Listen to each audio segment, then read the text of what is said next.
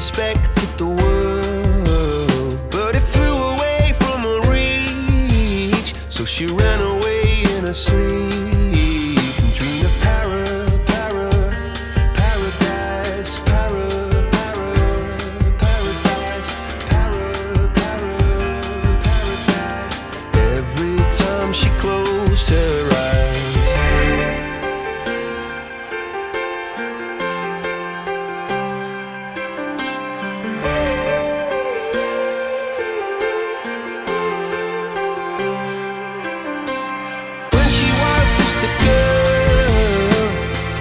respect.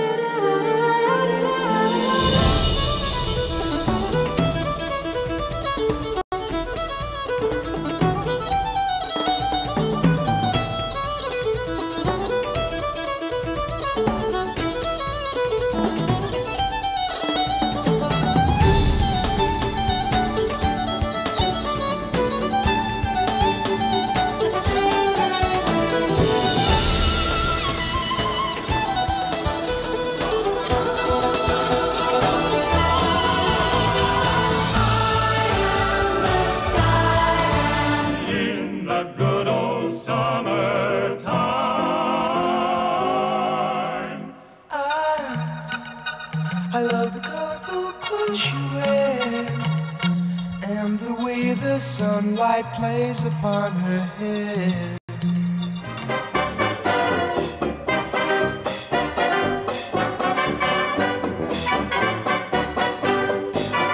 Canada, Heather.